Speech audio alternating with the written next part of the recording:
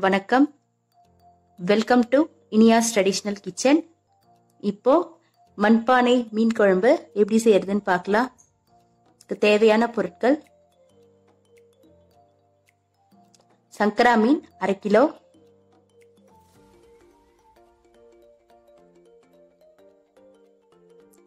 ஒரு கப் சின்ன வெங்காயம். நாலு பெரிய தக்காளி. நல்ல பழுத்த தக்காளியே வச்சுக்கோங்க. ஒரு கையளவு புளி.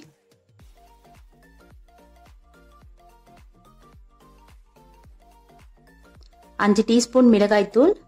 அரை டீஸ்பூன் மஞ்சள் தூள். அரை டீஸ்பூன் கடுகு. அரை டீஸ்பூன் வெந்தயம். அரை டீஸ்பூன் சீரகம். கொஞ்சம் கருவேப்பிலை. தேவையான அளவு உப்பு நல்லெண்ணெய் தேவையான அளவு.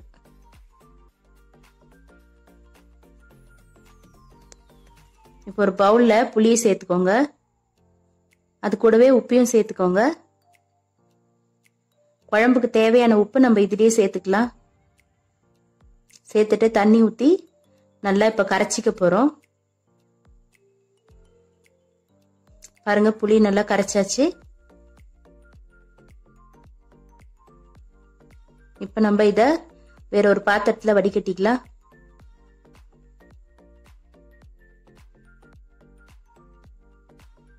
நீங்கள் இது போல் கூட்டி மீன் குழம்பு வைக்கும்போது குழம்பு ரொம்ப நல்ல டேஸ்ட்டாக இருக்கும்.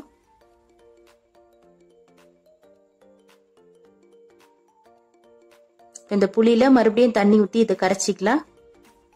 இது போல் மூணு வாட்டி கரைச்சிக்கோங்க.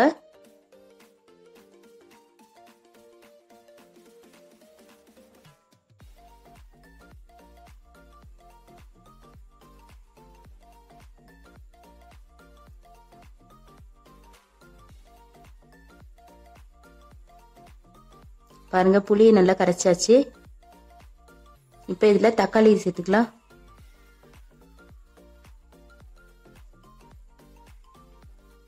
இப்போ தக்காளியை நல்லா கரைச்சிக்கோங்க. பாருங்க தக்காளி கரைச்சாச்சு. இப்போ மஞ்சள் தூளை சேர்த்துக்கலாம்.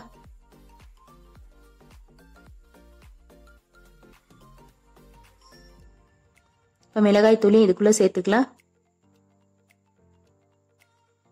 சேர்த்துட்டு இதையும் நல்லா கரைச்சிக்கோங்க.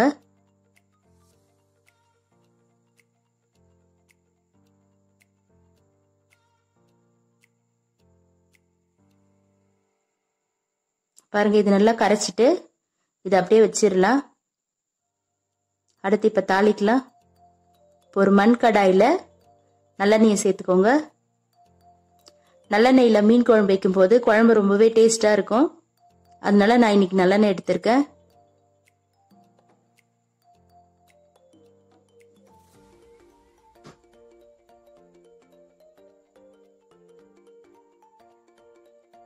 பாருங்க எண்ணெய் சூடாயிடுச்சு.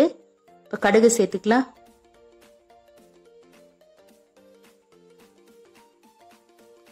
வெந்தயத்தையும் சேர்த்துக்கோங்க. சீரகத்தையும் சேர்த்துக்கோங்க.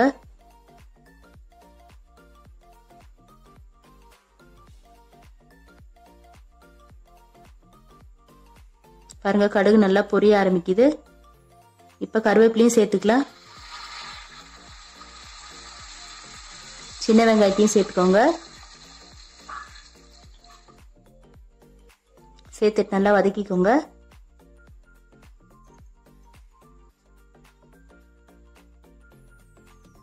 பாருங்க வெங்காயம் நல்லா வதங்கிடுச்சு. இப்போ நம்ம ஏற்கனவே கரைச்சி வச்சிருக்கோம் இல்லையா? அந்த புளி கரைசல் எடுத்து இதில் ஊற்றிடலாம்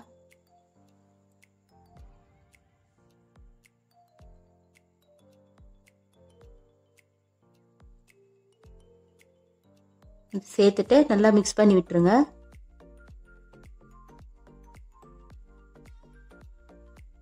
இப்போ இதை மூடி வச்சிடலாம்.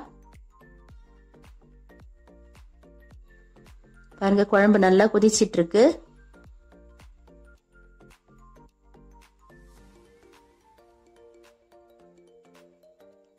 குழம்பு நல்லா இப்போ கொதிக்குது. இன்னும் கொஞ்சம் நல்லா சுண்டி வரும்போது நம்ம மீன் சேர்த்தா தான் கரெக்டாக இருக்கும். பாருங்க இப்போ குழம்பு நல்லா சுண்டி இருக்கு ஓரளவுக்கு. இப்போ இதில் மீனை சேர்த்துக்கலாம் நம்ம.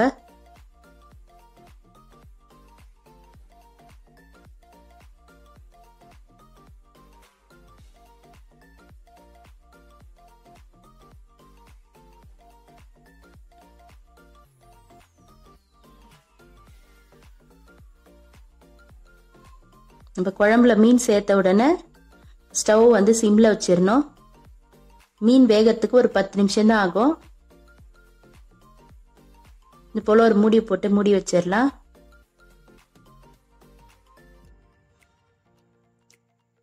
பாருங்க பத்து நிமிஷம் ஆயிடுச்சு. இதை ஓப்பன் பண்ணி பார்க்கலாம்.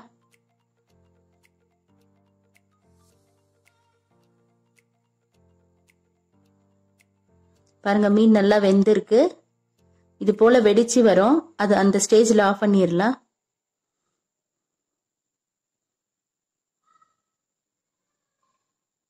இப்போ கொஞ்சம் கொத்தமல்லி சேர்த்துக்கோங்க.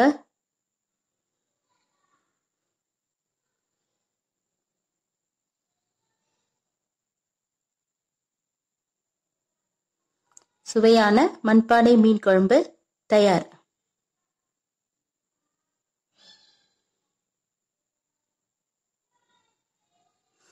இதை நீங்கள் வீட்டில் செஞ்சு பாருங்க. இந்த வீடியோ உங்களுக்கு பிடிச்சிருந்ததுன்னா லைக் பண்ணுங்க கமெண்ட் பண்ணுங்க. மறக்காம சப்ஸ்கிரைப் பண்ணுங்க. தேங்க்யூ